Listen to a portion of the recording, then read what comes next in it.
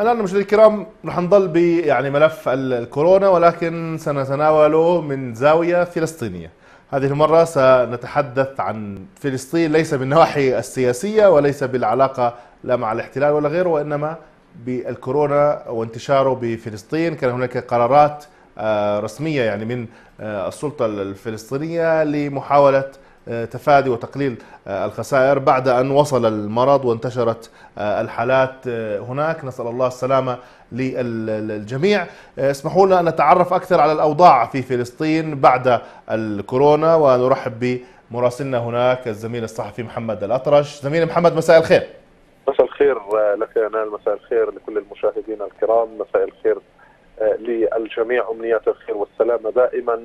للجميع بهذا الفيروس المستجد وهذا الوباء الخطير. يا رب الله يحمي الجميع. بدنا هيك تحطنا بالصورة العامة آه، عن الكورونا بفلسطين ما هي الإجراءات الرسمية التي اتخذت؟ كيف هو آه، التفاعل الشعبي معه؟ آه، حقيقة فلسطين لا تختلف عن الاقطار العربية. ربما كانت تكابر منذ اللحظة الأولى بفكرة انتشار هذا المرض بداخل محافظاتها أم لا. لكن آه، نقوص الخطر الأول كان حينما آه، أصيب مجموعة من الإسرائيليين ودخل هذا آه، طبعا الفيروس إلى أراضينا المحتلة نعم. الخميس الماضي كانت البداية حينما أعلن عن إصابة سبعة فلسطينيين مرة واحدة في محافظة بيت لحم جنوب الضفة الغربية والتي آه، لربما حملت هذا الفيروس من خلال مجموعة من السائحين الذين أتوا إلى اليونان بعد مغادرتهم إلى بلادهم تم الاكتشاف أنهم يحملون آه، هذا الفيروس. أخبرت وزارة الخارجية ووزارة الصحة بهذا الأمر. نعم. وتم تتبع مسار هذا الوفد السياحي. تبين أنه وصل إلى محافظة بيت لحم وأقام فيها.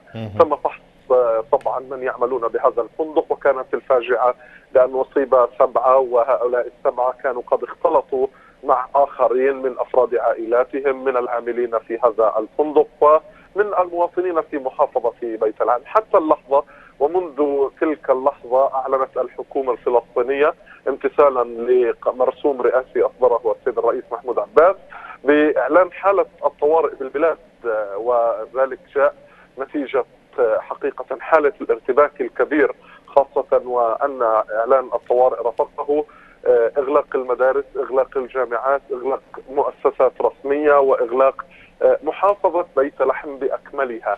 هذا يعني بالضرورة أن اليوم كورونا يحاصر محافظة من محافظات الضفة الغربية وهي محافظة بيت لحم.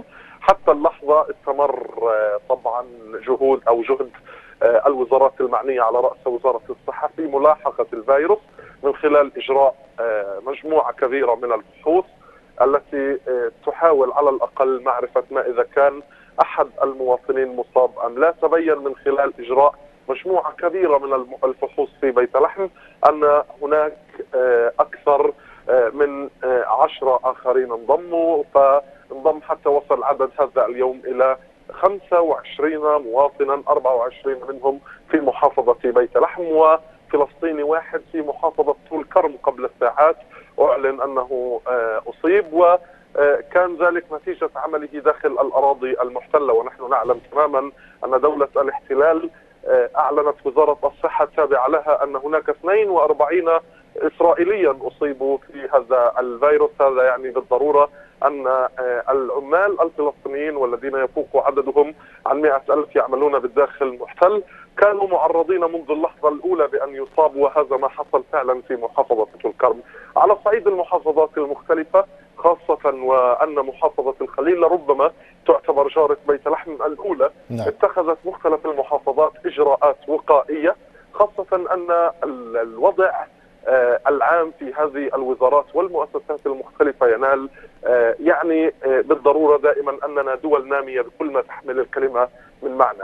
لك أن تتخيل ينال حينما تصدر التقارير التي تشير أن تطور وانتشار هذا المرض يعني بالضرورة أننا بحاجة إلى أسرة للعناية المكثفة. الضفة الغربية بكامل محافظاتها لديها ما لا يزيد عن 70 سرير عناية مكثفة. تخيل أن هذا المرض تفشى وانتشر آه، واستحكم في الناس. الفاجعة ستكون بأننا لا نملك المعدات الطبية القادرة على منع هذا الفيروس أو على الأقل على الحفاظ على حياة المواطنين، بالتالي رأت وزارة آه، طبعا الصحة الفلسطينية آه، وزارة السياحة ومختلف الوزارات الأخرى بضرورة اتخاذ إجراءات وقائيه صارمة منعا لطبعا حلول هذه الكارثة وانتشارها خاصة وأننا لا نمتلك المعدات والأدوات الطبية اللازمة لمحاربة هذا الفيروس أو تقديم العلاج للمصابين، اخذت قرارات صارمة من بينها إغلاق صالات الأفراح في مختلف المحافظات، أغلقت المطاعم والكوفي شب... والكوفي شوبات، أغلقت كذلك الامر الأماكن العامة المنتزهات وغيرها. اليوم نستطيع القول أن محافظات الضفة الغربية تشهد شلل كامل في الحالة آه، الاقتصادية والتجارية وحتى ذلك أتى بسبب خوف الناس والذعر الذي احتل قلوبهم ليس قصدا وإنما بسبب فعلا خطورة هذا الفيروس. واضح أن هناك استنفار عالي من كل مؤسسات آه، الحكومة الفلسطينية لكن حتى هذه اللحظة تخوفات الناس تصب ينال باتجاه واحد. هل نستطيع كفلسطينيين أن نواجه تداعيات هذا الفيروس خاصة وأن العينات التي أخذت آه، في اللحظة الأولى وحتى هذا اليوم كلها تذهب أو في معظمها تذهب إلى إسرائيل حسب ما فهمنا من باب التأكد بمعنى آخر إسرائيل طبيا هي قد تكون الدولة الأولى في الشرق الأوسط نعم. آه بالتالي نحن آه الذين خضنا معركة الانفكاك الطبي عن الاحتلال منذ أكثر من عام اليوم آه، اضطررنا أن نلجأ إلى إسرائيل في هذه المحنة ونعود ونقول اكدوا على هذه الفحوصات خاصة واننا لدينا إشكالية يبدو أنها واضحة واضحه جدا. الذعر والخوف هو سيد الموقف. الجميع يخشى آه، طبعا التجول في الشوارع أو حتى في الطرقات. هناك عادات اجتماعية سادت حقيقة بالتزامن مع ذلك الكمامات وكذلك الأمر مطهر اليدين وغيرها من العادات والسلوكيات. آه، القديمة الجديدة التي آه، طبعا انتشرت في الآونة الأخيرة آه، الوزارات المختلفة كلها تعمل ليل نهار كيف يمكن تجنيب الناس تداعيات هذا الفيروس لأننا آه، بكل الأحوال لسنا كالصين ينال نعم. الصين استطاعت خلال عشرة أيام أن تبني مستشفى يفوق قدرة وزارة الصحة الفلسطينية ألف مرة لكننا حتى اللحظة ننتظر المساعدات الدولية التي ستقدم من خلال منظمة الصحة أو حتى من خلال البنك الدولي. واليوم آه، مشكورة تبرعت قطر حقيقة بعشرة ملايين دولار للسلطة الفلسطينية. حتى آه، آه، طبعا تتمكن السلطة من الحصول على معدات طبية خاصة بهذا الموضوع.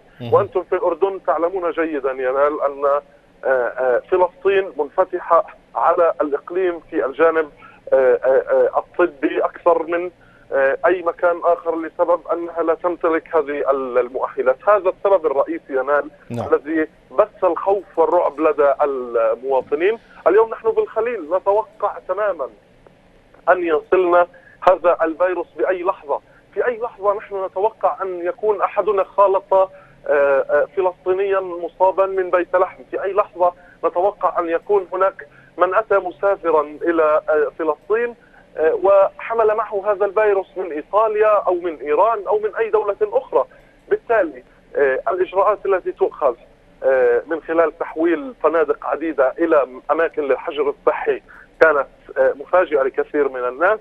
آه، هناك مبادرات اجتماعية انطلقت سواء من القطاع الخاص أو حتى من العائلات الفلسطينية. تمثلت هذه المبادرات الاجتماعية بتشكيل لجان من كل عائلة بتقديم المساعدة حقيقة للحكومة الفلسطينية التي نعلم تماما أنها لا تستطيع أن تفعل أي شيء سوى تقديم الحد الأدنى الذي يبقي الإنسان حيا بقدرة الله فقط. آه، أما القطاع الخاص فاستطاع ينال توفير على الأقل آه، آه، المستلزمات الطبية الأولية. رأينا نعم. مشهد مختلف هذه المرة. نعلم أن المستلزمات الطبية وكذلك الأمر الكمامات وغيرها من المستهلكات تنتج في الخارج وتصل إلى كل بلداننا العربية نعم. لكن الأمر في الخليل كان مختلفا خلال أقل من 48 ساعة أسست المصانع التي تنتج الكمامات بالكميات التي تكفي الوطن وأسست كذلك الأمر المصانع التي تستطيع إنتاج المطهرات المعتمدة والتي آه، لربما تصنيعها بناء على المواصفات العالمية حتى لا يفهم الأمر أن الخلايا تجار فقط. الأمر يقولون دائما الحاجة أم الاختراع نعم. ليس أكثر من ذلك ولا أقل. ما شاء الله عنهم أهل الخليل حبايبنا شكرا جزيلا لهذه الرسالة. الخليل أو الفلسطينية لأوضاع الكورونا في فلسطين. نتمنى السلامة للجميع باستثناء المحتل. طبعا هؤلاء يعني مش رح نسأل عليهم كثير. شكرا جزيلا لك زميلنا محمد الأطرش على هذه الرسالة وعلى هذه المعلومات لأوضاع الكورونا في فلسطين. واللي ان شاء الله إنه يمر مرور سليم بأقل آه، الخسائر ونتمكن أهلنا هناك من إدارة أمورهم كما نتمنى ذلك على مستوى الأردن وعلى مستوى كل أقطار أمتنا العربية والإسلامية والعالم وأكرر كل العالم كل الكرة الأرضية باستثناء المحتلين والظالمين والمجرمين. آه هذا ما نتمنى وما ندعو. بالنهاية نحن لا نتحكم بذلك ولكن على الأقل مشاعرنا تكون مشاعر إنسانية. نتمنى الخير لكل الإنسانية ولكن هذا الخير لا نتمناه لمن احتل أرضنا يعني حتى على مستوى أمور طبية وفيروس وغيره. وصلنا إلى ختام حلقتنا لهذا المساء. شاكرين لكم دائما على وفائكم وحسن متابعتكم. نلقاكم غدا وأنتم بأفضل حال وسلامة بإذن الله. السلام عليكم ورحمة الله وبركاته.